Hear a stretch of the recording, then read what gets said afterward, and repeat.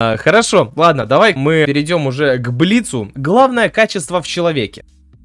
Блин, главное качество в человеке... э, э, Главное качество в человеке, какое должно быть. Угу. Нужно прям главное, главное.